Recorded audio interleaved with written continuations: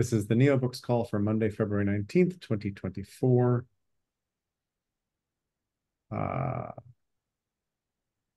I should probably do the transcript before I do the call that the way Pete does. That'll save me from the janky moments there where I do that after. um, great to have you all here. Uh, Pete and I had a conversation on Friday where we got into sort of what like are we a publishing house or not or whatever else? I want to report back on what we kind of discovered in some sense because it affects how we do things here in, in neobooks. And i'm probably going to forget half of what we came up with so pete i'm going to ask if you will like uh, help complete the things that i screw up along the way. Um, but part of our conversation was about how do we, uh, in response to our, our conversation last week about, hey, let's just get busy and like publish a book. And uh, Pete has had a, a long-standing question about, wow, state. I have three Stacy's now on. I think I think Stacy, I think you're having trouble with your phone or your laptop or whatever. Um, it will work out, but you're just multiplying on us. It's good. Um, you never have enough Stacy's. That's right. That's how it goes. Um, there we go. Yay. Um, but Pete has been raising the question of, of like, hey, are we a publisher or what are we here? And being becoming a publisher of books means a whole bunch of things, um, including, one would hope, having the resources to actually edit properly, uh, standing behind the books that are published and creating an imprint of sorts with some character or some nature to it, uh, or whatever else and um, and all of that is kind of beyond the resources that we have right now. And there's other things that we can do that that we're actually maybe more focused on or that are more more important to us. Most notably, um, if this is if neobooks are if the book part of neobooks is meant to be the attractor the thing that makes people understand oh there's a book here but maybe there's more the part that we're really really interested in is the more part is how do we get people to interact with the ideas inside of books and how do you know and, and how do we make that uh, a fulfilling and useful experience that may even affect industries and, and do other kinds of things um, so i think the place we wound up with is that um, we can help people publish books by DIYing it, meaning help steer them toward Lulu Press and through a process of uh, inputting their own their manuscripts in and, and so forth. Um, uh, or also we can recommend that people find some partner that has a, a an imprint, a, a, small press or whoever else, who uh, is willing to pick up a manuscript and go uh, go further with it toward uh, having the book show up. Uh, but that we don't have the resources to be Neo Books uh, Publishing, comma Inc. or anything that would smell like that, and that that's that's kind of off center for the the thing that we're aiming at. Um, uh, and Rick and Dave kind of came in in the middle of what I just said. Uh, Rick at the end, I guess. So uh, maybe I'll I'll repeat it. Um, Rick and Dave, uh, Pete and I had a conversation on Friday where we were being realistic about what we can do as a publishing house. Are are we a publishing house, NeoBooks? Because we want to publish NeoBooks. That's one of the one of our goals. And where we ended up with is we we are likely overstretching ourselves to think that we're a publishing house. What we can do is map a course to DIY it, which is probably the route I will take, which is take pieces of a manuscript, roll them up, churn them out, uh, and, and put them into the Lulu Press or Kindle Direct uh, Publishing KDP uh, engines that then have your book turn out uh, at least uh, as an ebook and maybe even as a physical book in different places. But that otherwise we don't have the resources to be a, an imprint to basically uh, steward and edit, properly edit, properly uh, form up uh, book books. Uh, I'll just say that since you, you sometimes you have to form a backronym once you get new new variants and new versions. Like Coke Coke Classic was only named Coke Classic after there were too many flavors of Coke to, to track. And you had to say, no, no, no, the original one, the one with like actual sugar in it. Um, so Pete, what have I forgotten from our conversation? Tell me lots. Um, I, I, I don't know. I, I, let me give a different take on it. Okay. Um, uh, so, um, so for me, I I guess uh, in in a way, Jerry, you're you're kind of the champion for neobooks. Uh, so ultimately, uh, what you say about NeoBooks is going to be true. uh, and if we want that to change, then um, uh, we may have to lobby you or or help you or something like that. Um, but uh, for me, there's two different things that neobooks might be. One of them, I wouldn't say a publishing house, I would say a publishing press for some reason. One of them is that it's a publisher, a publishing press. Um, another one might be that it's a process. Um, so then the NeoBooks project might be both actually. The NeoBooks project might be a press.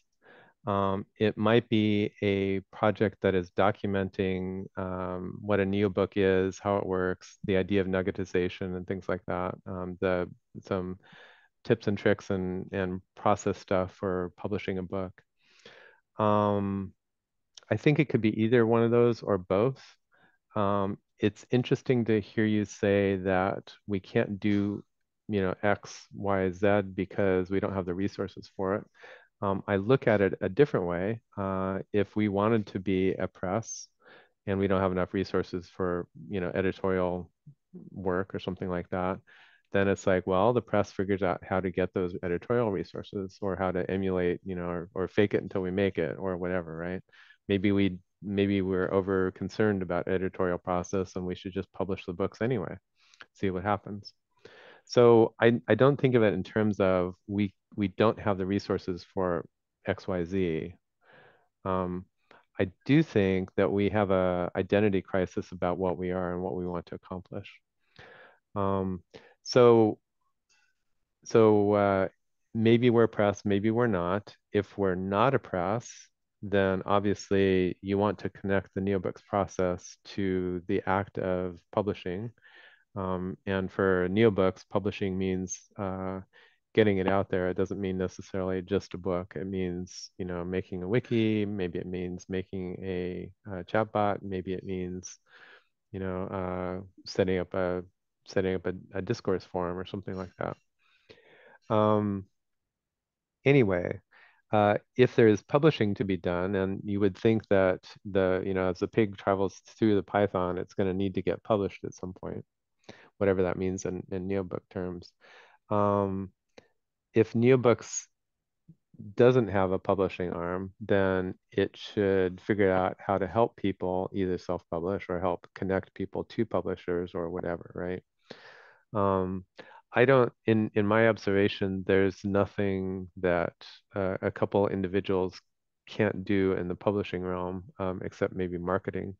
So, you know, if people want a paper book, that's pretty easy to do. If people want an ebook, that's pretty easy to do. If people want a website, that's pretty easy to do. Um, if people want a discussion forum, that's pretty easy to do. Um, the thing that I observed that is hard is distribution, what I'll call distribution, and I also mean marketing in there. Um, how do you get 10,000 people engaged with your uh, information? How do you get 100,000 people engaged with your information?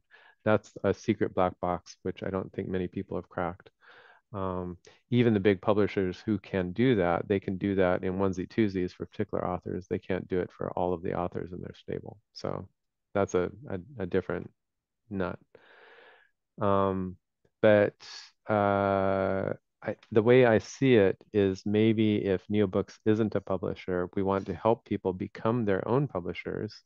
Um, and probably you want to have more than one person doing that. I think, uh, like all six or eight of us here, self publishing a book is less efficient than having one or two presses where four of us get together and publish, you know, four books or eight books or something like that. Um, so uh, so then I think maybe NeoBooks, if NeoBooks is just the project of, you know, how do we produce NeoBooks, in the scope of that is um, let's also set up ways for publishers to get instantiated and publishers to get, you know, public, existing publishers to get listed um, and so part of NeoBooks' projects remit, even if it's not a publisher, is to help the publishing process with different presses. So, so, so back to the presenting question, is NeoBooks a press? Is it a project documenting the, the process of neobooking? And I, I think what I heard you say is it's probably not going to be a press. Um, all of which has likely raised a bunch of questions. So please ask away.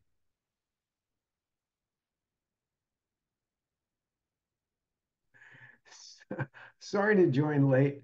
Um, I was out for a bike ride and and and I miscalculated the wind. it was really a bitch getting back. Glad you're here. Me too.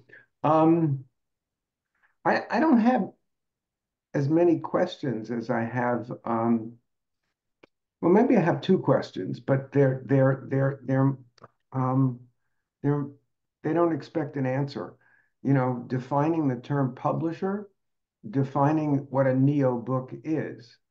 I so somehow hearing you talk, Pete, um, you made it to me it was complexified by your conversation.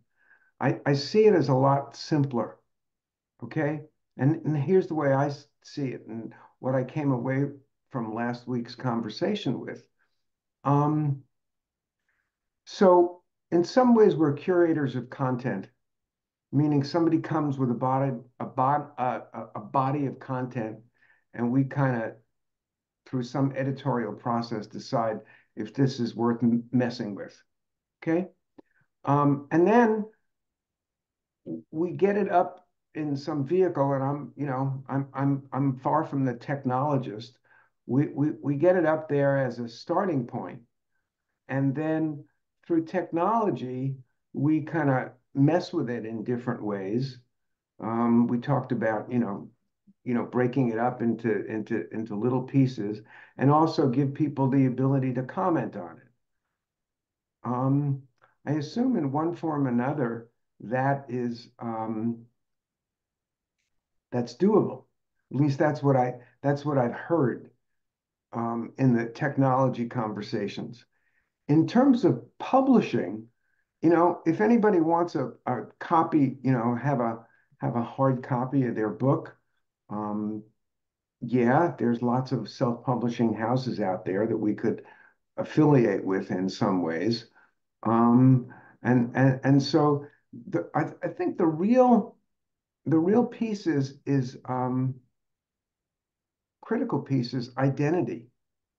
And by that I mean um, how we position OGM um, as someone who is putting out really leading slash bleeding edge content in some ways. Um, so that's my two cents at this point in time after listening to uh, you speak, Pete, and however the conversation started. Mm -hmm. Thanks, Stuart. Uh, Pete, go ahead. Um, thanks, Stuart, and I apologize for complexifying things. It comes down for me to, is there some entity responsible for content or not?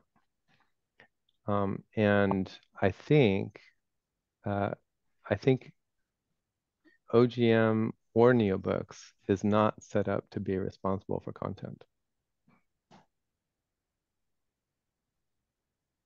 and and I think we're not all on the same page with that. Like maybe we should be or something like that, but I don't see it. Uh, I I don't see it having that the the structure for that.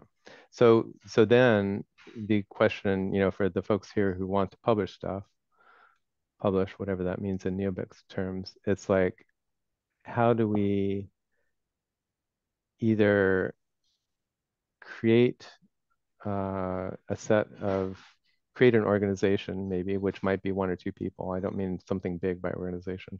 How do we create an organization that is going to be responsible for content? Um, or failing that find an organization that assumes responsibility for content. Um, yeah. Um, before say, going to say oh, uh, go ahead ask a question. No, Pete, when you say responsible for content, I assume that you mean um, some kind of editorial function, decision making about, you know, is this quote, you know, worthy or not worthy for for being a neo book in terms of the identity we want to create in the world. Yeah. Uh, yes. Okay. So, Agreed. so for me, for instance, Neobook is a aspirational description of how content works, and it has no responsibility for any kind of content. Not that I, you know, I would love it if it did, but it, I don't think it does. Um, and then scrolling back just a tiny bit, what Pete was saying, Pete, and this is something we talked about on previous calls, Pete has been part of two actual successful book publishings. Uh, one is an edited volume, uh, sort of uh, created and stewarded by Cindy Kuhn, which turned into a softbound book you can go purchase on Amazon today.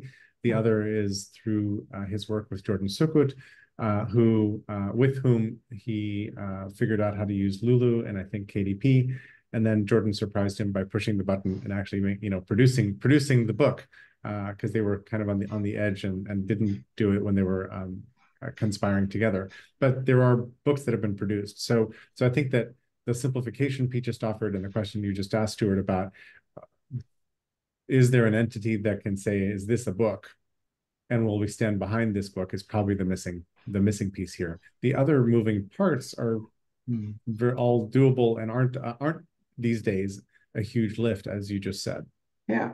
So so just by way of my my own personal experience, okay, I've served on editorial boards in the American Bar Association in terms of making assessments about whether certain things are they want to publish them. Um, and I don't know, I don't I don't see that as a big deal. I've also, you know, published with a quote real pub real you know, publisher, and I've self-published, and I've done multi-author books, uh, edited and curated. So I, I've got a pretty broad experience, and I don't see where editorial is um, is it's, that it is not hard at all. Yeah. But it requires somebody to say, you know, uh, here's the name of the publishing press and I get to decide, or we get to decide, decide, whether or not it's in or it's out. Yeah. And as far as I can tell, NeoBooks does not have that function, and OGM does not have that function, and and won't won't. Why do you say that, Pete? Why do, why do you say won't? Um. Uh, historically, uh, OGM and you know NeoBooks, it, uh, the project writ, writ small, it it hasn't done it yet, right? Um, and um, I mean, it's possible that it will, but it it, it hasn't. Uh, and I, as you say, it's easy to have an editorial editorial board function. For me, whether it is an editorial board or not is is actually not so much of a question. When I heard about NeoBooks, what where it resonated for me was this idea that it's a platform, not a gatekeeper. Um, and so the idea that it's a platform that I can participate as a member, um, and and I can get other members to support me on it. And uh, as we come together, if it works, you know, maybe I'm a lone wolf and I do it by myself. Fine, and I do what I can, and I get done what I can get done. Maybe I can get a bunch of people around on the project and a whole bunch of people participate and that's even better because the quality will improve and all of those other things. But i don't think that it's one or the other. I don't think that somebody should decide whether my code and i'm, I'm just going to go to github mentality for a second. It's like no you can't write that piece of code. Well screw you. Why can't i write that piece of code? I want to write that piece of code now, if somebody goes and forks it, that's because they, they think it's good. And if nobody does, then they think it's bad. And that's good. That's the way it should be. But I think once you have a group of people deciding whether what I wrote is good or bad, then that that we're taking it down a path that I personally didn't think that that's where we were going.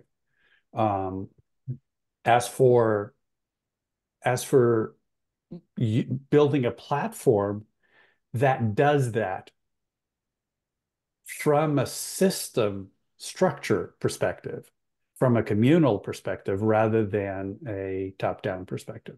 In other words, the fact that people do get to participate and do get to, um, you know, say, hey, I really like what you did. Let me contribute to that, or let me use that, or let me help you with that. Um, then I think that that's the process we want to see, which gives us the legitimacy and or the the backup that we would seek from an editorial board. Um, thanks for that, Jose. That that's I think clarifying to me, and I think I think part of what's been happening is when you say, are we a press or an imprint or a publisher? All the baggage of each of those kinds of entities that are quite related shows up, and then it's like, ooh, that's a lot. That's a lot of people, a lot Back of work, to a lot of linguistics again. Exactly. And part of what we're doing, I think, is deconstructing. That's a bunch of roles and tasks, some of which we're actually happily doing, others of which we're, you know, you're it's DIY. But uh, what you, the way you just put it was clarifying for me. Um, Rick, then Klaus. Yeah, maybe just to build on what you just said, I, I tend to agree. If, if it's done in the spirit of open innovation, then you don't have to be worried about whether you're a book publisher. If you think about it as a digital platform, a collaborative digital platform where people can come and share their content, whether it's formally published or not, uh, it, to me, the, you have to think what's the ultimate outcome and of what you're trying to achieve here. And I think we we focus too much on content curation, which is important.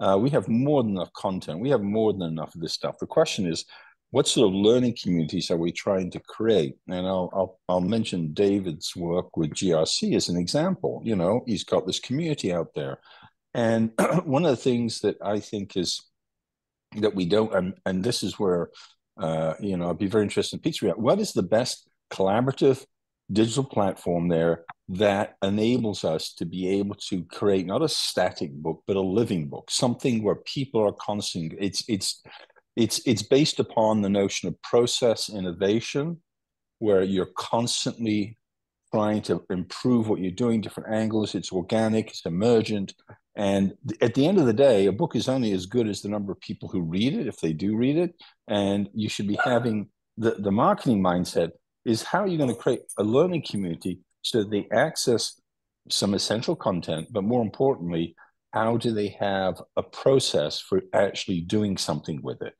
That's what I'm interested in. Um, and, uh, you know, I think what David's work has, he's got the infrastructure for it, but I don't think that's what it's doing.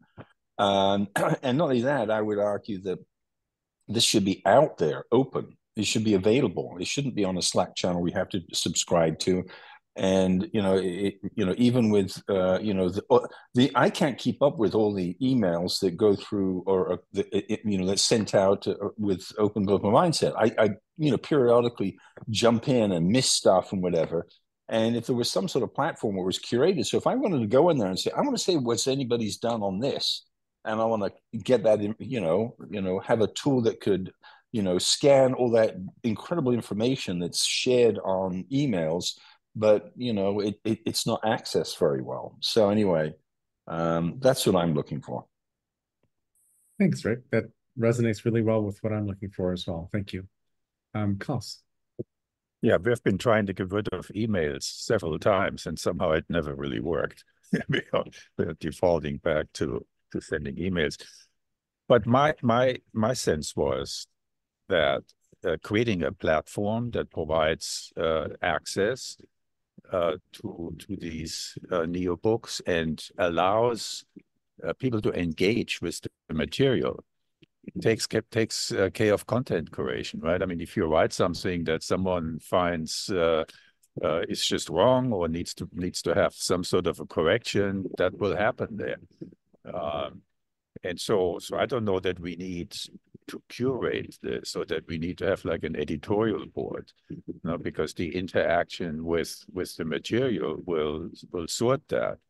Um, but we could have a really creative platform you know, that provides uh, i mean first of all the disclaimer you know, we don't uh, take responsibility for any of these uh, contents here please engage with the material if there's something objectionable please state so no, you can you can do that as an entry but then we can create subchapters, you know, and, and every neo book has a different way to present itself. You can add a chatbot to one if you want to. You can make the information interactive, you know, allow queries. So, so I thought that would be an opportunity to really showcase the creativity within the group, you know, uh, to to have multiple topics and so on. Um, I, I love that and agree, Klaus, and also the conversation that Pete and I, or that I tried to take us into a couple weeks ago about uh, how, what is the taxonomy of ways of of contributing, communicating, which sort of didn't really work here, was an attempt to say, how do we simplify but make really powerful the kinds of interactions you were just describing? How do we make it uh, really uh, easy for people to contribute, collaborate, comment, do whatever else without overwhelming them with way too many platforms, too many tools, too many things to understand. Uh, and and we still kind of have to do a little a little work on that. Um, Jose Pete Stuart.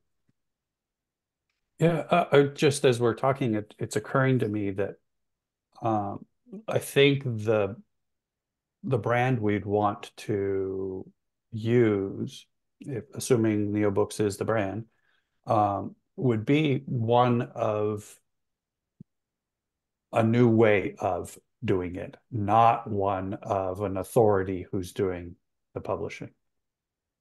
And so a book that gets printed with a NeoBook description, something that says, this is what a NeoBook, this is how it works, this is how you can interact with it, this is how you can play, um, and this is how it was different in its creation. Uh, that is to me the the imprint that I'd want. Um, because then it it's talking about a platform change, uh, a way, a new way of seeing the distribution of information in print and or other means um, as the unique part, not that there's yet another publishing house or another imprint. Like that, that to me is not at all valuable but the value that's brought to the table by this new invention, uh, I think change helps to change the way we interact, helps to change the way we actually uh, work with one another. So that that to me would be the value.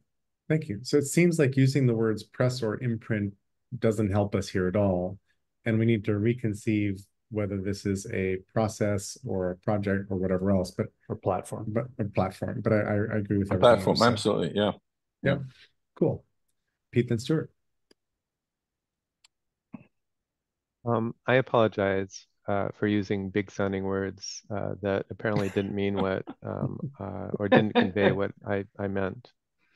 Um, I'm all about collaborative collaborative distribution, uh, collective knowledge. Um, that's what I build. That's what I do. Um, uh, so it sounds like NeoBooks is a platform. That's great. Mm-hmm. Uh, right. yeah. Where is the platform?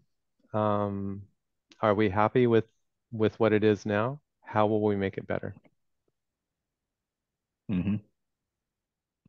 Yep. And and it seems that making those things explicit, like what does it mean to be a NeoBook? Um, I, am happy to work on that because that's central to I think this whole project. But we need to publish those things as blog page, blog posts, whatever. But we need to get that out there so somebody can walk in and go, oh, okay, this is what's different about a NeoBook and why I would like to be part of this community. And I, I, I mean, especially one of those questions very literally, not not as a uh, rhetorical question or anything. Where is our platform, and are we happy with it? Um, right. Because I think we've what we've talked through is the platformy parts of this, whatever it is, are not the hard thing. so do we have a platform? Where is it? How are we going to make it better? And my quick answer to that is by default, at least for me, the platform right now is Massive Wiki. Well, and and more specifically, it's uh, the OGM Wiki in right. some part of the OGM Wiki. Correct. So, um, so let's put more more of our work there. Let's collectively think there more. Cool. And, uh, and if we're not happy with that, let's you know make it make ourselves make it better to where we're happy with them. and Pete and Jordan and I are in a conversation to take uh, some few remaining funds uh, that I got a couple of years ago to fund some improvements to Massive Wiki that would help solve some of the, a few, a little, a, a couple pieces of those questions. Uh, Stuart, please. Yeah, just a few um, a few thoughts. So there's a word, there's a way in which Marshall McLuhan's words come to me. You know, the medium is the message. Um, Yeah. and uh, the word, you know, evolution or emergence um, of both um, content and the platform. Okay. Evolution of the platform. In other words, we we are not static. We are, you know, um, yeah. Um, I blanched a little bit when when when Klaus said um, no no editorial content. Anyone can come and play. I I I I, I don't know. I I'm I don't know about that. Okay. I think we need some kind of filter. Otherwise, I'm just concerned with what we might get. Um, you know, I mean, I'll give a, you know, glaring example. I don't want, you know, I wouldn't like to be affiliated with someone who is publishing Nazi propaganda. Um, sorry to any apologies to any Nazi leaning folks on the call, but that's the kind of thing that pops up in in in in my mind. Um, That really pisses me off, Stuart. No, I'm just kidding. nice. Well, And there that's was a- the end that's of a- NeoBooks. No, no, that's a legal mind speaking. That's what it is. well, at least a legal mind in recovery. I once tried to say that I was recovered and got got got booed down. Yeah. If, if I may interject just with that on Stuart, um, Go for it. I think my my sense would be that what we need to do is set up a, a platform that does that, but Yeah, not exactly. by making decisions after the fact, but but that the platform itself um, has, you know, the second I create something that isn't, you know, the tiniest little thing that isn't in keeping with the spirit of what we're doing, then that gets questioned. Not that that at the end of it somebody goes, "We're going to editorially review what you did." Yeah, no, got it. So we we set up some criteria. So is is Mhm. participation our metric? In an- Basically, my point as well. Yeah. Okay. Is participation our metric? Because the thing we want is for people to engage with neobooks in this new way where we're co-thinking. Um, as opposed to uh, for a publishing house, sales of a of a an artifact would be the metric. Like, ooh, we we had a bestseller. Uh, Mhm. Here we actually want to have a, a, a hot com- a hot community interaction that's fruitful and useful. Cool. Yeah, exactly. I, when I when I post something on LinkedIn, my newsletter, and I instantly have you know two thousand hits on it and and so many likes, I know I know I hit I hit a home run. Uh, otherwise, there's like, oh my god, I got three likes, so that didn't go so well. So you get instant feedback. But I understand what Stuart, uh, what you're saying is you want to have some kind of a filter. No, but I think filter may also already exist by who gets to post, right? And and uh, so who has access. Sweet. Um, Stuart, then Dave. I'm done. Thank you. Ah, well, not Stuart. How about Dave? Uh, yeah, so, so I guess we're kind of going back to first principles again here, right, in this conversation. Um, and I would, I just, I was just listening to this Tyler Cowen in this um, um, podcast, and that's where the link to his goat book came up. And part of the conversation was like, what are books for? What are people doing with books? And so it was kind of interesting. So he wrote the book, and then he also put it into the bot to, Mhm. to discuss with. And his his one of the, I think part of his thesis was people don't really read books; they read parts of books, they skim books. The bot allows you that more easily. You can still read the book if you want, but the bot gives really people what most people want. And what's the the service where you can pay money and you get like the 15 minute versions of books? Uh, you know, there's so it, it feels like you know there's a Yeah. whole set of things around book that that are interesting, and they're I would say user reader oriented, right? So if you're really doing a platform, it feels like we've got, you know, a reader orientation, which is trying to, you know, please them. You've got an author orientation. Like, I mean, I think I got interested in NeoBooks because I want Klaus's book to be successful, right? Hmm. Kind of, you know, I want the store, the message that he's got around agriculture to get wide out there widely. So that's kind of my interest, but I'm not particularly interested in writing a book. And then there's another category of the author. What are they doing? Do they want prominence? Do they want to get their ideas better? Do they want to make money? You know, so it's a multi-sided platform, and you got to cross the incentives in a way that makes the platform successful. I think um, is kind of how I'm you know, thinking about this.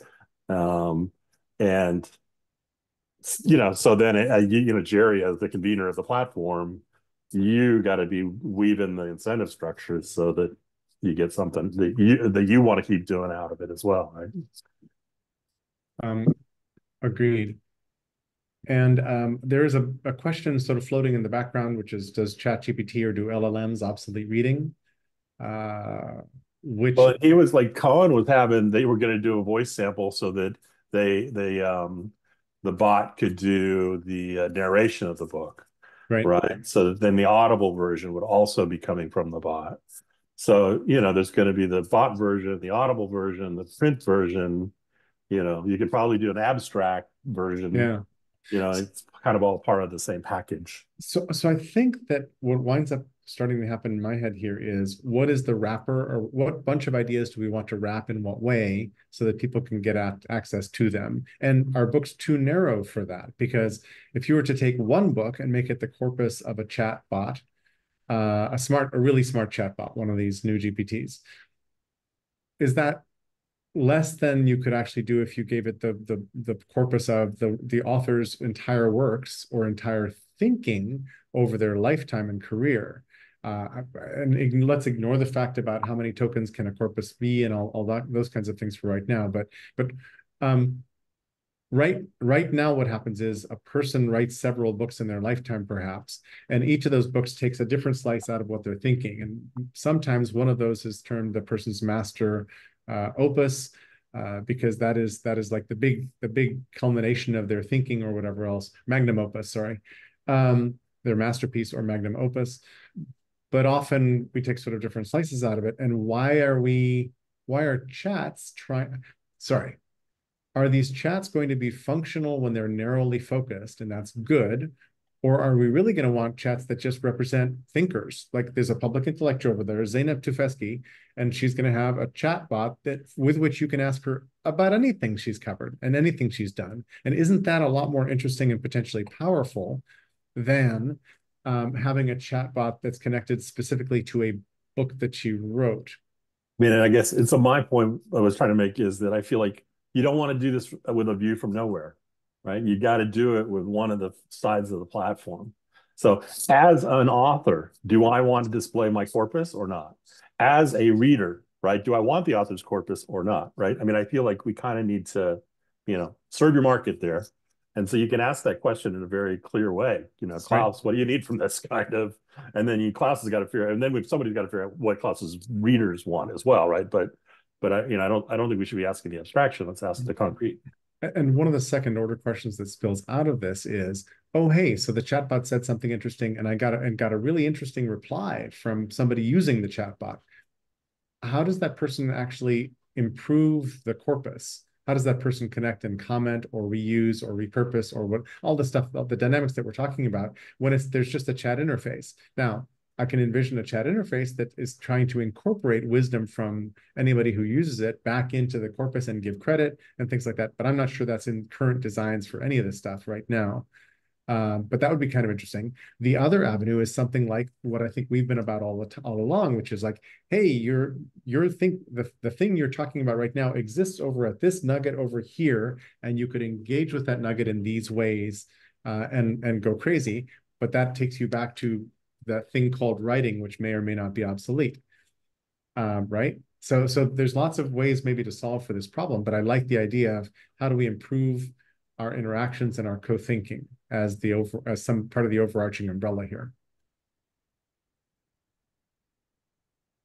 Um, kind of all of that just kind of got me lost a bit, but um, sorry about that.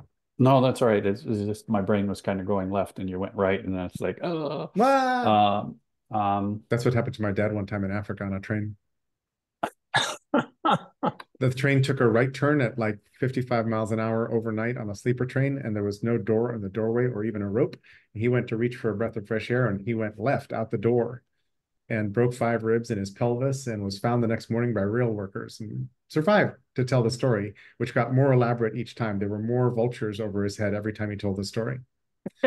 Anyway, now I now I've probably seriously distracted you. now say, you but went backwards. Now, now Yeah. I've got like Now you have to look up, no longer bifurcation. Now we're, and we're spin twice in place. Right. um, I was looking for the definition of chatbot. That that's that's how how what a luddite I am in some ways. I'm uh, I, I started thinking, well, if if if if the aim of what we're working on here is to get down to first principles, uh, in in the platform that we're talking about, then maybe the way we designed a platform is through first principles. And and so the first principle is, are we trying to publish authors? Are we trying to get more readers? Are we trying to, you know, what's what's the thing we're trying to do? In my book, uh, by that I don't mean a book, um, from my perspective, um, the the aim is to get more people seeing the same thing. That that there is more consistency and and the way that we tell stories, the way that we see the world, the way that we see what's right and wrong, and more consistency and all of that.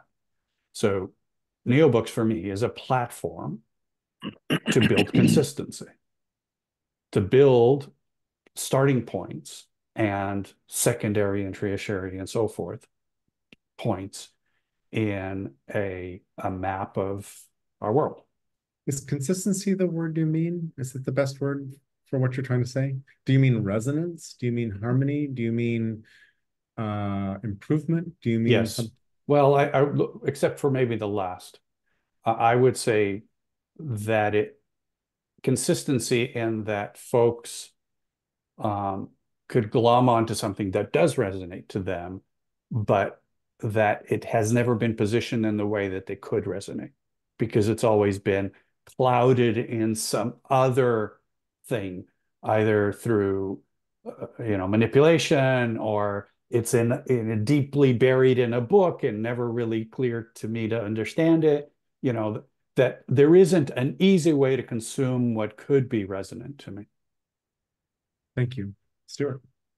Yeah, so this is, you know, this has become a terribly loaded word, but to to kind of um, paraphrase um, or give my own thought in terms of what we're doing, it's to um, awaken more and more people to certain progressive ideas. Um, and and those, you know, those words are, you know, I, you know, in my own work, words are words are just words. It's it's it, it- Oh, but there's so much more. I know, and you need to break them down in some ways to be able to, um, you know, articulate what what it is that you really mean, so that people understand. Um, you know, otherwise, otherwise they can be they can be tools for manipulation and argumentation. Mhm. Um, so They're an extension of of the OGM calls in some ways. You know, what we're doing is an extension of the network. It's another vehicle um, to engage more people. so I think I, I think I have two little problems with the way you express this, but I'm in general agreement with you.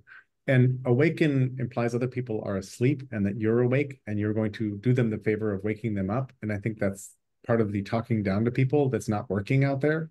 the Awareness of content and ideas. Uh, I'm not I'm not sure awareness. Well, perspective. I don't know what the right word is. I'm hunting here. But We then the other thing is, it. but then Mhm. the other thing is about progressive ideas. And the for me, for me, the label progressivism, just like the label MAGA and the label everything else, are really tainted and weird and and sort of the wrong framing in different ways. And in some sense, I think what we want to do is I'm going to use another terrible word, liberate people from use from frames that are harming us as we try to puzzle through how to make a better life for lots of people. How about shit that's important for you to be aware of in the year 2024? That's great. That see, you've you've you've just taken away the loaded terms and it works so much better. Thank you. Thank you. And that we co-discover that. Yes. Th- That, that it's not us doing so Yeah. Mhm. for someone else, but Yeah. that, that part of the process is a co-discovery process, not a, a talking to. And that's key. And and like if people are along for the discovery route, then they will appropriate the ideas and change their world in some substantive way, and then they'll stick with it over time because it makes sense and they want to do it. Um, my my change model, my amateur primitive change model for society is basically taking someone by the hand and introducing them to something cool that they should try. Um, because it's because it might actually stick and it might not. But but um, not showing up and saying, "Oh, we just studied 500 cultures around the world and we came up with uh, 16 things that if you do these things exactly, you will have a better society." Because that's never worked. Ask Earth Island Institute and a whole bunch of other researchers and uh, attempts to do this. Uh, that doesn't it doesn't stick when you show up and say, I, "I've I've solved this problem. Just do exactly this." um, which means this is emergent, which means this is a series of conversations, which means we have to express the ideas with some clarity, um, which means we have to make our way through uh, other people's attempts to cloak everything in mud and uh, obscurity, because that's a really viable tactic for avoiding these conversations, right? I, one of the one of the real problems out there is is what I call denial of discourse attacks which is different different people's conscious attempts to undermine trust and discourse in the world. And Stuart, I think you're done talking, so you can put your hand down and I'll go to Jose.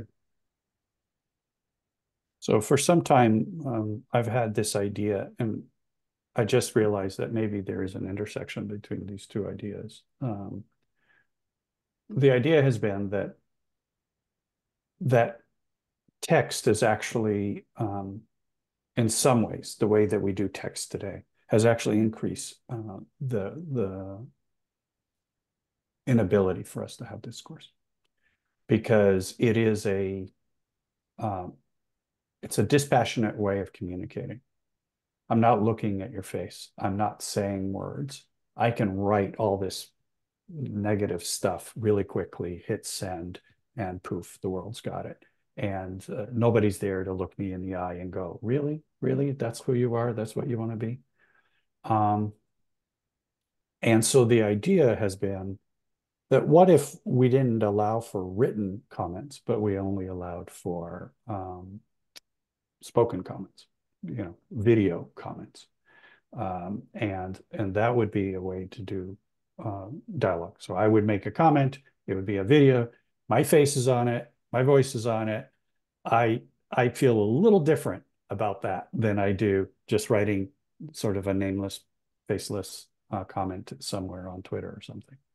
Uh, and then, so then I started wondering, what if you com combined that with um, a chat GPT uh, to actually do the work of writing things and analyzing things to turn it into uh, a neobook structure, but that but that the creation of the content is done verbally in some way. I'm not sure that it means anything here, but it's just those two thoughts kind of collided as we were talking there. Mm-hmm. I love how you're thinking. Um, there's a difference between anonymity and pseudonymity um, and full ID. Anonymity means you can't tell who wrote anything. Pseudonymity means you don't know exactly who this is, but you know that that other post over there is the same person than this string of posts over here because they have a pseudonym that is persistent over time. And if Bill Gates wants to go post in on Reddit, he probably needs a pseudonym. Um, and there's there's another piece there, which is it's not just that it's my name or not my name. It's, it's just that, impersonal text. Impersonally, Cold, calculating, emotionless text. Um, yes. And and so maybe maybe we should just purge all text from the world and the world would would settle into a more peaceful zone. Should we try that? I'm not sure that that was the answer, but okay. Just playing your argument down. Well, but I think to some degree, um, when we when we reduce the humanity in communication, we do reduce. I totally agree. Uh, but also, I, I, brought up the pseudonymity thing because mm-hmm. when when you can't suffer the consequences for your words, that's a problem, and and it's way too easy to bomb you know bomb conversations and leave and just like ah that was fun and and we need to reduce moments where that can happen. Uh, Rick, Pete, Stuart, you're muted. Sorry about that. Yeah, just a sort of potpourri of comments, really. Um, you know, echoing what Stu was talking about, you know, the dark side, so to speak, of what can be written. But on the other hand, the flip side of that is having some sort of call it what you may, credo, manifesto, whatever. What is the ethics of the you know organization that it's it's you know to help people become open-minded, truth-seeking, virtuous free thinkers to collaborate together and solve the world's problems or whatever it is. And so that if you do have your negative deviants who get under the radar screen and start uh, running afoul, there are mechanisms where you can address those issues uh, in the public forum. So you're trying to raise the, um, um, I would say, was you know, we talk about civil discourse, but I also think you need to think beyond civil discourse and generative dialogue, strategic dialogue. There are some very important subtle distinctions between them, and we don't we we tend to put them all together. And I think it's important for people to learn about those distinctions. Um, the other one was the issue of a digital learning platform, which I think is a much better frame. It echoed, I put the link in there. I just did a quick search about what are the best digital learning platforms and uh, Perplexity AI.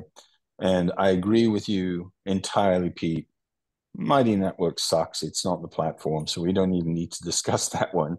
Um, but I was just curious to see what would come up. And then it, it, it, triggered for me a book that I remember reading, oh, maybe 10 years ago, when Michael Hyatt was at his, you know, at his uh, highest level of uh, platform marketing, digital marketing. I mean, he was a real maverick. I don't know if you're familiar with, but his book is now available free. Having what my my recollection of that book was is that he's a marketer and he has a you know I don't have a marketing mindset. So, you know, having people with a marketing mindset or learning from people with a marketing mindset is critically important. And then I came from a meeting where somebody gave a pitch. And the take home message, I think, is very important to this group, which is you got to co create with your end users. So, for example, if we were to take Klaus's book, you know, and, and look at this digital, um, this wiki platform, and we start practicing on it, how can what are people going to engage on it?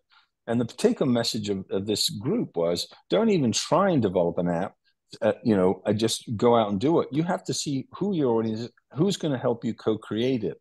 Because if you don't have people going to the platform, you're not gonna you're not going to be able to develop a learning community. So, I, I will I will I'm glad that Pete's next because I'll push on him a little bit to say, okay, let's have a look at this uh, whatever's out there. Maybe experiment. I think we need some experimentation, prototype testing to see, you know, what is it what's the experience like because this is all abstract in the moment and let's let's see if we can uh, you know let our feet touch the ground and say can we can we can we crawl run or walk over to you pete over to you pete thanks rick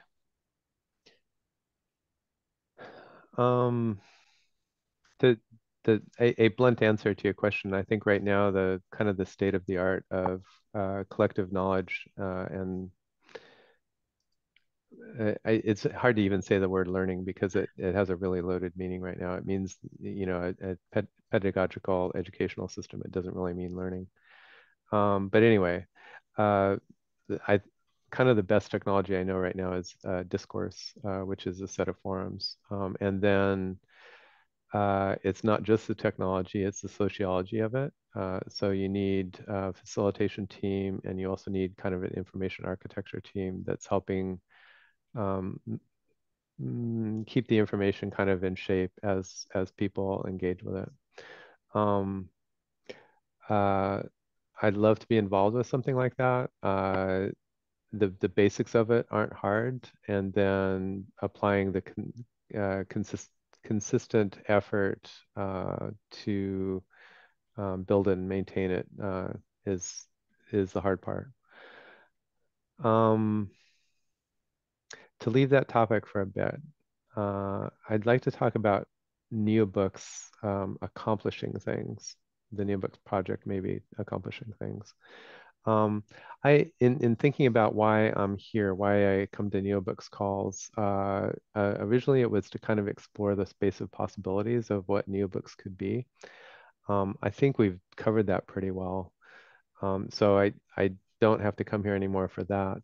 Um, and now the thing that I'm really looking for is to help uh, the NeoBooks team or project or, or platform uh, to uh, uh create sociological tools and technological tools that do, you know, collective learning, uh, collective engagement, um, moving ideas into the world, um, dot, dot, dot, so that um, the world changes. Uh, so I'm really interested in seeing neobooks change the world.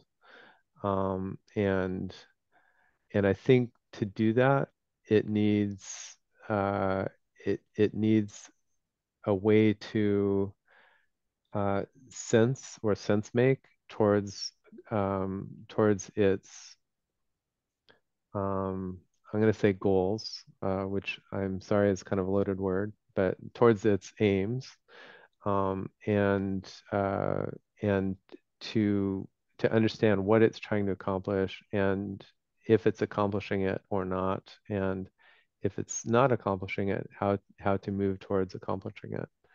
So I think um, uh, I I appreciate I appreciate the exploration of what neobooks means. Um, I appreciate philosophical discussions about how we might make neobooks better. Um, I'm kind of interested at this point in the actual nuts and bolts. Uh, let's change the world somehow. Um, uh, and uh, and back to if neobooks is a platform, we have uh, a platform that exists. I don't think it's got very much stuff in it right now, and I don't think very much of many of us participate in that platform. So maybe a thing that we need to do is to work on that platform more, or maybe it's to spit that platform out and choose another one or something. But um, I, I, I hope that we can kind of get to where NeoBooks is setting up um, accomplishments that it wants and then a path towards those accomplishments. If I could just quickly respond to that in, in response to Jose thing, what you were talking about, I think the, question is how can we create a blend, a high learning blend? And I, I'm talking about learning in the frame of emancipation and not the traditional notion of education. You know, um, you know, the, you know, the, the, emanci- yeah. the emancipation educational methodologies is something that I'm more interested in. How to help people develop their own sovereignty, understand their thinking, metacognition, yada yada, and that that takes time and it takes um, community and, over time and, and work um, so i have a bunch of absolutely. you know sociological and technological tools out at you know at hand kind of um, I, th- I think we should start applying them um, we we haven't uh, very much yes yet. yes i let's do a test run with something i mean do you know I, as i say you know take something from Klaus, just try it out. You know, let's let's start playing with the tools to see what we think about them and see if we can. Uh, Stuart, thank you. I'll give you. Jazz hands, baby. Um, Stuart, then Stacy, then Klaus. Yeah, thanks, um, Pete and Rick. I, I wanted to um, because because you know what we're doing is you know it's emergent and and I I wanted to punctuate what Jose said about um, text versus um, dialogue. Um, you know, the printing press was a great idea, you know, in the year 1200 or whatever the hell it was invented. But, you know, maybe it's focused us um, in a direction that's no longer serving. completely. Okay? In other words, it's not this or that, but there's a way that dialogue, okay, um, creates connection. Unfortunately, the media is all argutainment, so it's it it's not a very good role model. But but real Bohemian Bohm, Bohmian dialogue is a very very powerful tool for evolution of um, of thought, and you know whatever studies have been done, um, you know the verbal as the, the verbal aspect is a small percentage of the communication between human beings in a face-to-face setting. Um, um, you know, we see that here, okay? And in some ways, just that concept and the possibility of, of having real dialogue as opposed to textual exchange um, is a great learning and possibility for an evolving forum for sharing um, ideas and evolving ideas. So we're actually doing it.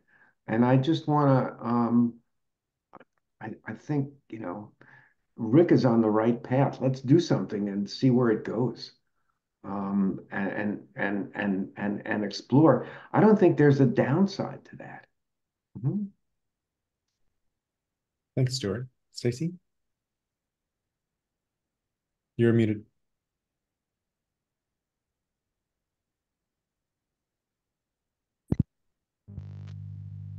Oh, you're unmuted now, but we still don't hear you. Darn. Can't hear me? Yes, now it's now it's coming through. Okay. I'm just interested in knowing, just with the eight of us, the distinctions in terms of what each one of us would consider the matrix the matrix of success and who we're who we think of as the end users. So like for me, it would definitely be participation and the end user, what I would want, I'm the end user. I want to be the end user. And I'm just interested, you know, we're I think that there would be slightly different answers for everybody.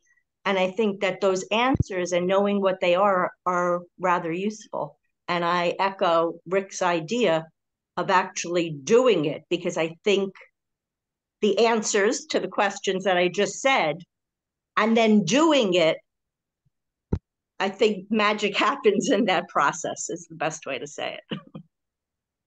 Thanks, Stacy. And anybody who wants to reply to that or with your perspective, please jump in the queue. Thank you. Um, and I'm getting some sound from, I think, your audio, Stacy, that sounds like there's a dog eating your phone or something like that. The sound's gone. Maybe there were aliens overhearing the call or something like that. But but there was some extra artifacts on on the audio coming from your phone that that were puzzling. I was like, what is that noise? Anyway, thank you, uh, Klaus, and then me. Yeah, also to what Stacy was just saying, maybe if I explain for a moment how I look at my my NeoBook Volume Two and and how it evolves. If I may take the screen for a moment. Um, so so here is the steer concept of uh, leading from the future as it emerges.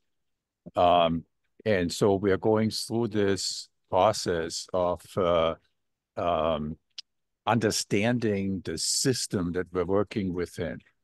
And so, you know, I'm traveling with a, a whole group of NGOs, but now also an increasing number of uh, business business groups who are who are really interested in uh, regeneration and carbon sequestration and what have you.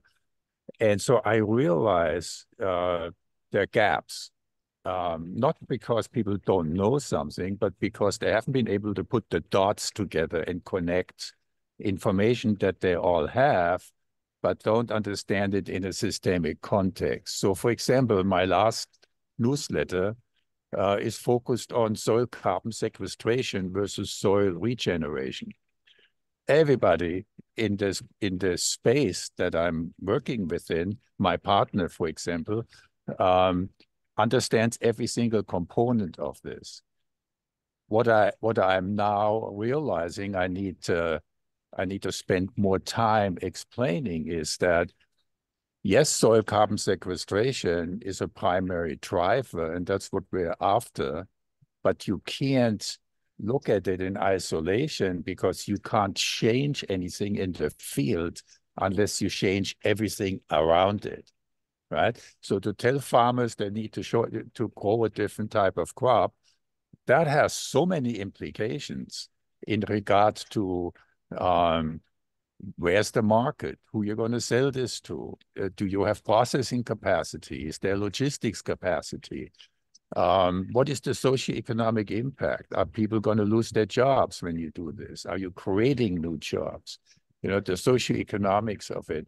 So the understanding the system you know, is is um, is the is the true challenge, right? So this this entire neo book, I I realized I was stuck in the middle of this neo book because nothing was moving around me, and then you just poke, you know, one step at a time. Where are the gaps? You know, where is the gap in understanding and knowledge that the group needs to embrace? uh, in order to advance. So, so right now, I mean, for example, the and this is getting very technical. I'm sorry, but just just to to to explain, um, the biofuel sector has created this low carbon intensity score, um, which is a wonderful thing, but it only works in the biofuel sector, and even there, it has implications which haven't been processed because in order to lower your carbon intensity score, you have to do stuff, you know, that alters the entire market access around you. So this kind of systems thinking has been alien. It's alien to the to, to any member of Congress. People are so embedded in their self-interest uh, and in their own in their own domains. They don't want to look out. You know, so we have we are in silos. And I always compare it you know, just climb out of your silo and look over the edges and see what's going on around you. so to me, that's what a neobook can do. It can advance systems thinking, you know, embed you deeper in, in, in whatever context. I mean, this can be in a social context, in a business context, in an environmental context. Just see, connect the, the dots around you and so that's sort of that's that's what i'm working on right? So this is my the evolution of of volume two uh, step by step. Thanks Klaus. and also um, i love what you said a, a, moment ago about when you post something on linkedin and it gets three uh, responses as opposed to a couple thousand that's your feedback loop and that makes a lot of sense. Um, Pete was saying, and many of us have been saying, okay, great. So let's let's build a platform where these things can work. What is our platform? And one of my hunches, and I'm not sure, I'm just sort of saying this to stimulate the, the, the conversation, is that we will have a hard time generating a, a platform that a lot of people show up on that's really fruitful, that really is like juicy and so forth. But I'm pretty sure that there are some platforms in existence today that other people are host, hosting where this conversation is raging and some of those, and I don't know how to tell which ones, might be very amenable to us showing up and saying, hey, uh, would you like to try this experiment? How about this? How about this other way of looking at it? Uh, and you know, presenting ideas someplace where the conversation already is happening, because you can't always attract all the interested or relevant parties over onto your backyard. You sometimes need to play in other people's backyard.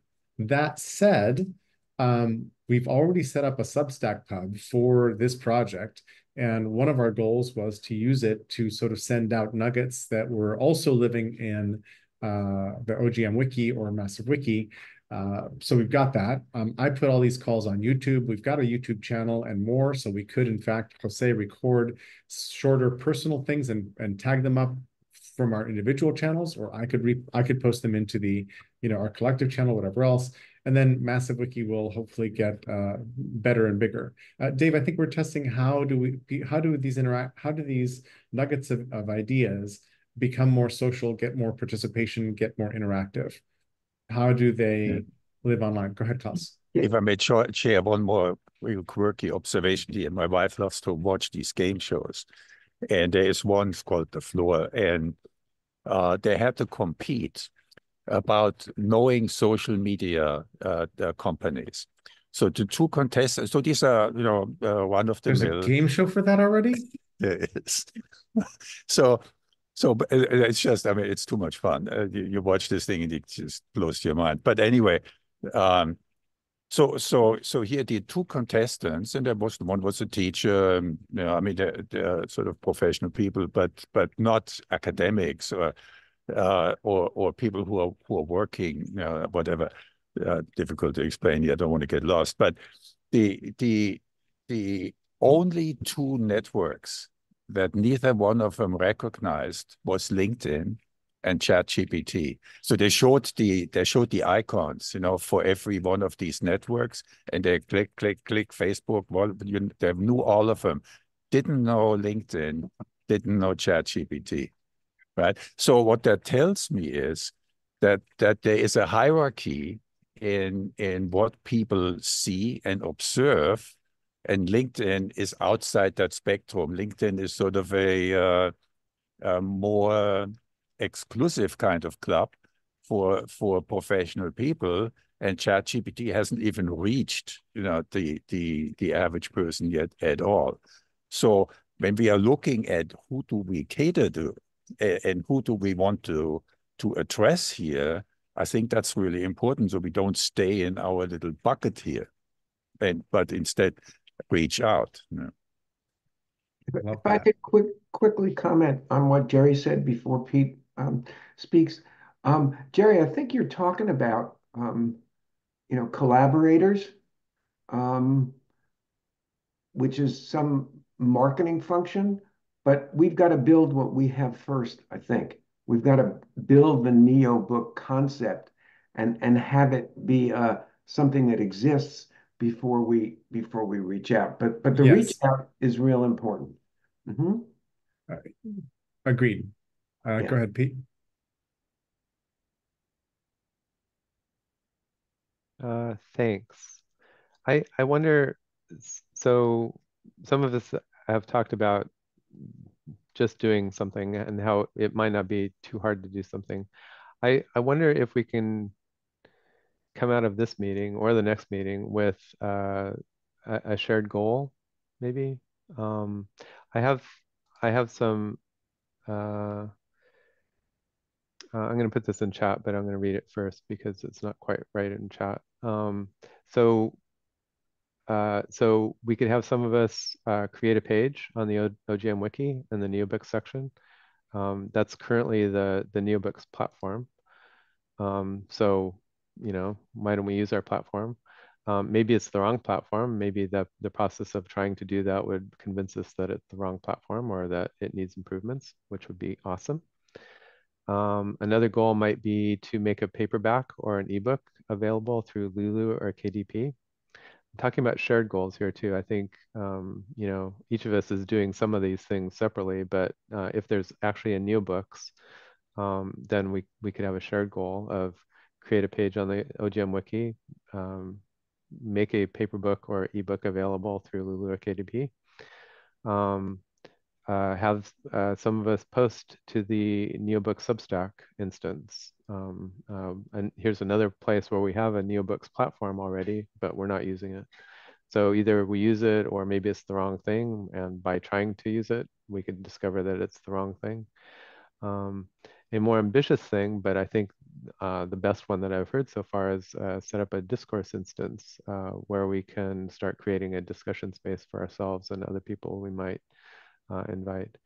And I don't mean these to be exclusionary. These are the ones that I can kind of come up off, uh, you know, top of my head. Um, I think I, I wouldn't necessarily pick any of them for this to be a shared group. But until we have some shared goals and we're achieving them, we're not, I, I don't feel like we're a group. We're like a philosophy call, which is great. But um, uh, it gets, it, it's starting to wear on me. It's getting a little tiresome. I want us to see, you know, to make, make uh, have us. I want to see fingerprints in the world from the stuff that we do. Um, so thanks. Thanks, Pete. And just briefly to elaborate on Pete's mention of discourse, one thing I didn't mention when I did mention Substack is that there used to be a discourse instance for OGM, and uh, uh, it, it, wasn't sort of shaping up kind of properly. So Pete freeze froze freeze dried it, froze dried it. How do you say that? Um, froze it. Froze it. There we go. and, and so it's so it's it's offline at this point. But one of the considerations is to add water and reconstitute it and put it so basically put it back online. And then part of what Pete and I are are conspiring to fund is his developing a way to use discourse as if it were the chat function on a nugget in Massive Wiki. which would be a cool thing. And then we could go experiment with that for a while and see if anybody else shows up and see if that creates the engagement we want. But but that's I, I don't think that's a distant uh, dream. I think that would be pretty uh, executable in the in the relative near term. And what and uh, what we would learn from that is that Pete can set up Discord and it would serve as a chat. Uh, yes, and that Discord uh, can both dis be discourse, discourse not discourse. A, not a, yeah. Discord is entirely different. Um, discourse is more of a, a, sophisticated threaded forum with a whole a whole bunch of bells and whistles. Um, Jose, then Rick, and then we're getting close to the end of this call. Well, on um, that note, go ahead. Go ahead, Sandra. Um, so you, you introduced, thank you, Pete, because I was feeling the same way, which is, yeah, let's get going. Um, the idea of having more places is feels dissonant to me. More things, like we could do it here and then there and then all these other things and substacks and more stacks. Um, to me, it's um, let's pick something. If it doesn't work, pick something else and let's try to do something. Um, so yes, let's do something. To let's not multiply um, and and learn a whole bunch of different things that we could. Totally I think agree. it dilutes our effort. That's I point. totally agree. Um, and the other thing I was going to say is, okay, if I have uh, for next over the next week, if I have 10 first principles I want to put into the system, where do I do that? So uh, right now you would either post to the Substack or you would add them to the OGM wiki. And or decide that neither of those is is the right thing uh, and vote with your feet to some other platform. And Jose, I don't think you're set up to post to Massive Wiki or any of that, correct? uh, I not that I know of. I think I've been in there, but uh, if I understand, the only way I can edit Massive Wiki is either through uh, GitHub or through uh, some other tool that I do not use. Some other um, editor like like Obsidian. Yeah. Excuse me. Um, so I think that's part of my my issue is even if I wanted to right now, it's not, I don't see a platform that actually knows what a nugget is or, or, a building block. I don't see a platform that actually knows how I can link those two things in an explicit way that says this is a nugget that supports this this chunk of text. Um, uh, I uh, I'll answer that, but but before I answer it with a technical technical um, thing, uh, I'll note that uh, Dave's got a great comment uh, in in the chat. You hear technological things from me because I'm a technolo technologist and I'm here to build stuff. I'm not here to write stuff. I don't. That's not a value judgment. It's just who I am. Um, so Dave said, uh, "Hey, instead of tech talking technology and trying platforms and crap." Um, uh, because that doesn't really matter in the end. Um, why don't we talk to customers and do something customer focused and understand, to Stacy's point, who our end users are. Um, that would be a great thing. Um, my suggestions were technical steps because I'm a technologist. My ask of this group is that we have some shared goal, like uh, talk to somebody who's an acquaintance about what you know about what their understanding of a book is or what their understanding of or what platforms they use to read stuff or whatever right? I i don't care what we do. I think i, I would like to see us do something together. Um, to your point jose um, uh, massive wiki and discourse are are top tools in my toolkit and they are also excellent at nuggets um, and they do excellent linking. And so um, they're not they're not the easiest thing to use and they're not the hardest thing to use and they're very capable very practical systems Um, so again, this is Pete, the technologist, uh, saying something. Um, I, that all of that doesn't matter more than end users actually reading our stuff. But we do have tools that you know are great at nuggets, and and and need to get better. But um, they're already. Can great. you help me if I come up with ten over the next week? Can you help me Uh, yeah, document I those? I love to do that. Yes, um, I'll send you an email offline. I think our nuggets might create more engagement if we fry them twice, because I think like the single frying isn't quite creating enough crunch. Never mind. I found sorry. out on Sandwiches Food- of food joke. History that uh, uh, that if you couldn't afford the fish nuggets, uh, you could at least uh, get uh, um, pounded uh, um, pound, pounded garbanzo beans uh, and fry those up instead of the fish. I can never remember, is it hotter first or hotter second? Is it the second frying that's hotter or the first frying that's hotter? I don't actually know. It's a I, good I having never double fried anything, I don't know whether you turn the temperature up or down. I'm gonna have to go look that up now, though. No, you Um, need to have two different.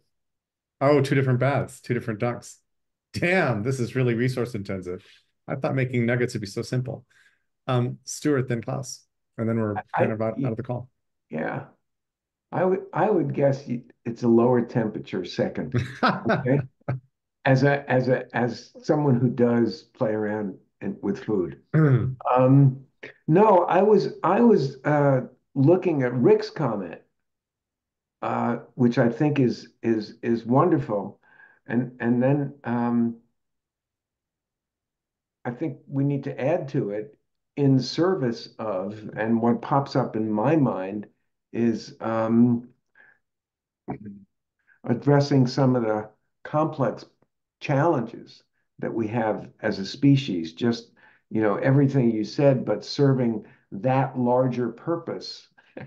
And then I started laughing because what I was laughing about was that, and that would be a wonderful definition because people who wouldn't understand it, maybe we're not the, they're not the kind of folks we want to have participating in this endeavor.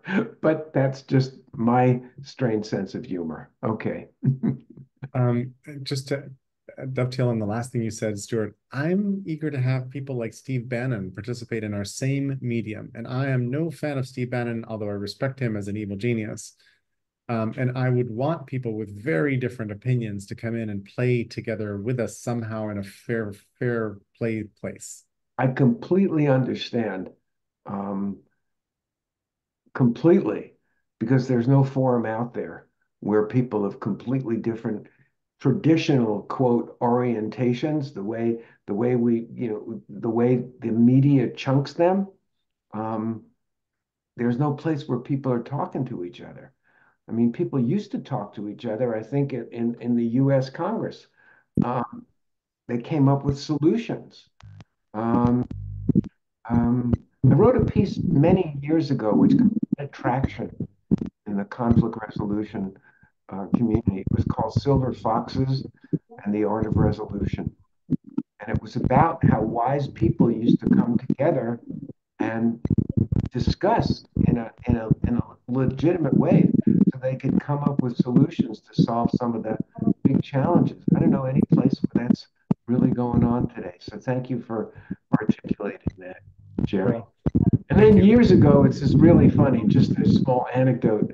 My my stepdaughter and I agreed no Christmas presents this year, but she sent me one. She said I just had to send it, and it is a silver fox.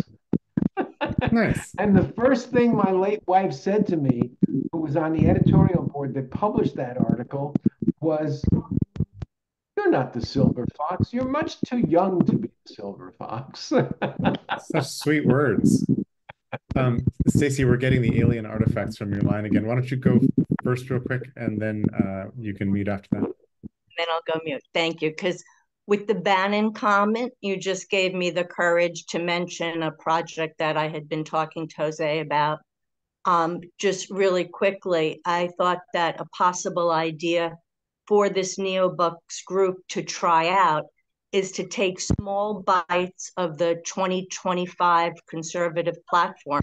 There's many ways we could do it, whether running it through a chat GPT and taking parts out first, but to have different ways to have small conversations about small pieces of it. Um, anyway, I just want to say that real quick. And I want to add to that idea. Have you gone and looked at the Democratic platform for 2024 for this election cycle? Um, a friend of mine, my friend who's a little more conservative than me, pointed out that there is nothing practical in there. It is all about uh, all the cultural war issues from the liberal side only, and it, it has very little practical stuff in there. It's it's kind of crazy, and comparing the two might be an interesting exercise, although that's larger than we can probably all bite off. But doing doing both ends of it might be really useful. Go ahead, Stacy. Yeah, if I could just say, rather than compare it, I'd rather pull out all the commentary totally and build on it because then it's that Aikido move. They've put all the work into readying half the population. Let's take that momentum and make it, you know, anyway, I'm going to mute. Get it, get it Thank to you. first principles. Cool. Um, Klaus, then Rick. Thank you for your Yeah. patience. Pete, I, I just wanted to say I'm you know I'm a marketing guy, and, and so for me, I, I I need to put my hands on something is only so much abstract that I that I can follow. So f- the way I would go about this is grab a software, whether that's Wix or whatever you want to use, and then absolutely start to, to uh, uh, tooling away, or drawing away, and doodling, right, and and and put some ideas in. So I'm I'm happy to engage, uh, simply from a, a, marketing perspective, right? Who do we try to reach? Market segmentations, blah blah blah, and uh, and actually do something, right? You, you just have to pick whatever platform you want to work with. Let's get started, right? Because I, I I'm I'm there's nothing I can talk anymore that puts puts a picture in my head and to understand where this would be going.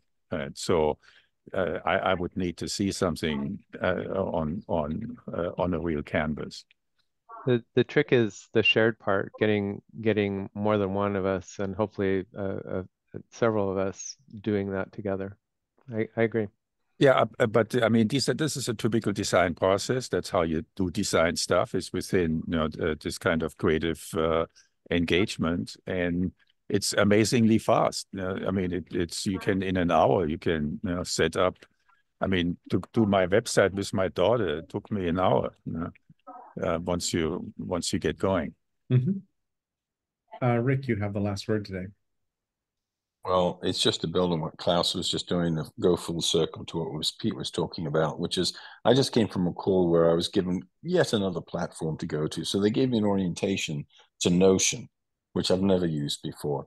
So what I would uh, what I would suggest, Pete, as one small step towards a goal, is for those of us who are not so experienced with, it, is to give an orientation on how to use uh, discourse. So maybe that could be something that could be done next week, where we could have a little demo so that we, we're all on the same page. Because I haven't used that one. Thanks, Good. Rick. Um, good. And I don't know that Pete has decided to reconstitute discourse yet. I don't know what that'll take.